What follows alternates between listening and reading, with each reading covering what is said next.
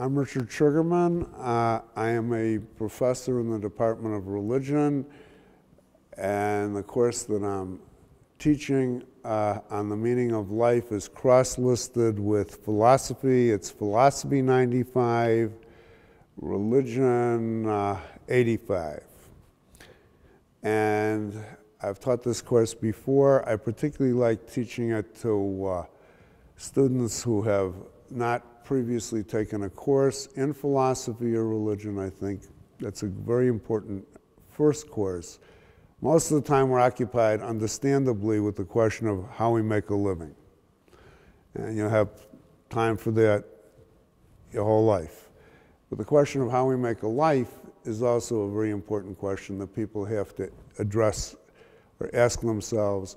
And what I, we, we try to do in this course is we ask that question of some of the most important contemporary thinkers and books of, the, uh, of our era.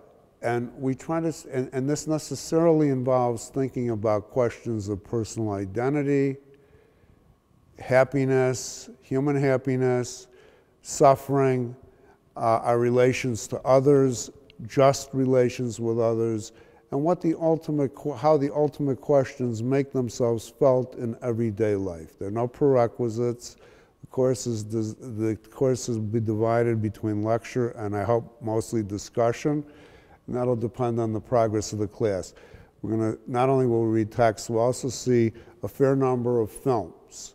And I think that helps to illustrate the, the, the material that we're reading, and I, I hope that you will enjoy it, and I think I, I certainly will try to do that because if I don't enjoy it, I don't want to teach it.